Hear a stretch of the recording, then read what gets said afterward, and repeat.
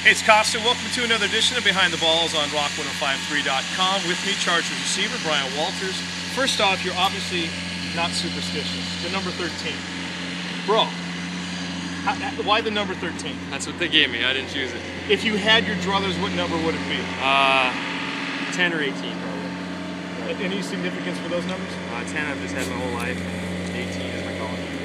And, and we, you went to college at Cornell University? Cornell University. No, Red Raiders, right? Uh, Big Red. Big Red, excuse me. Sorry, I knew it was. I knew it was red somehow. I think Colgate's Red Red. Yeah. How um?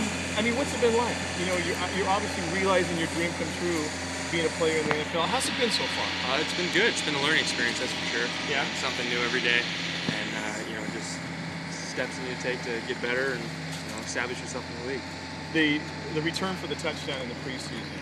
I know you've talked about it a bunch now, but if you can quickly, what does that feel like? That was that was that was fun. It was a good good way to start. You know, my first game ever, Mhm. and uh, you know to be able to do that, especially in front of my you know the Seahawks or my you know where I grew up, Sure. Seattle, and uh, you know it, it, it felt it felt really good.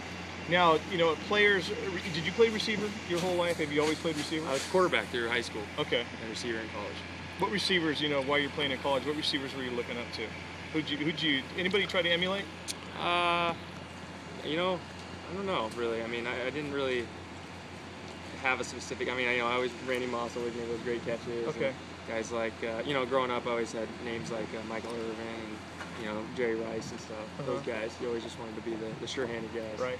And who's your coach with the San Diego Chargers? Charlie Joiner. Hall of Famer, bro. Oh yeah. yeah. And everybody in San Diego watches this segment, which means Charlie Joiner's going to see this. And now he's going to tell Norv, and then Norv's going to tell AJ, and now you're busted. You want to you want to change what you, what you said just now and say Charlie Joiner's the guy I looked up to? Charlie Joiner. Excellent job. Bryan, appreciate your time. Yeah, He's you. Bryan Walters. I'm Mike Costa. That's an edition of Behind the Balls right here on Rock1053.com.